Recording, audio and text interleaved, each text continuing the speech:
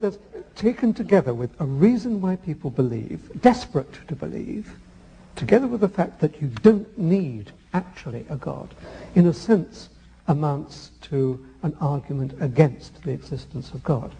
Well, I, I, guess I don't see that. I mean, why doesn't that commit the genetic fallacy of trying to say that by explaining how a belief originates, you thereby show the belief to be false?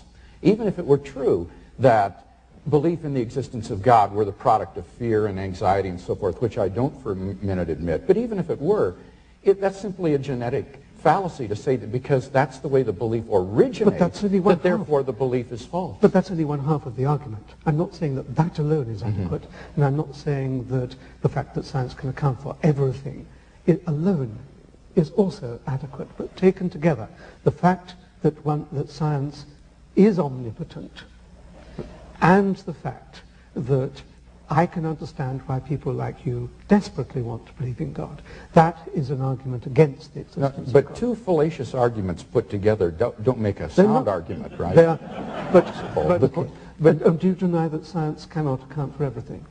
Yes, I do deny that science So what can't it account for? Well, I, had you brought that up in the debate, I had a number of examples that I was going to give. Uh, I think there are a good number of things that cannot be scientifically proven, but that we're all rational to accept. Let me list, let me list five. Logical and mathematical truths cannot be proven by science. Science presupposes logic and math, so that to try to prove them by science would be arguing in a circle. Uh, metaphysical truths, like there are other minds other than my own, or that the external world is real, or that the past was not created five minutes ago with an appearance of age, are rational beliefs that cannot be scientifically proven. Ethical beliefs about statements of value uh, are not accessible by the scientific method. You can't show by science whether the Nazi scientists in the camps did anything evil as opposed to the scientists in Western democracies.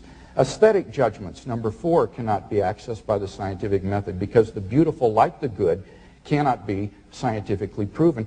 And finally, most remarkably, would be science itself. Science cannot be justified by the scientific method. Science is permeated with um, unprovable assumptions. For example, in the special theory of relativity, the whole theory hinges on the assumption that the speed of light is constant in a one-way direction between any two points A and B. But that strictly cannot be proven. We simply have to assume that in order to hold to the theory. But you're missing the whole... So put you, that in your pipe and smoke it. Yeah, okay. yeah. So okay. we are uh, none of these beliefs can be scientifically proven, and yet they are accepted by all of us, and we're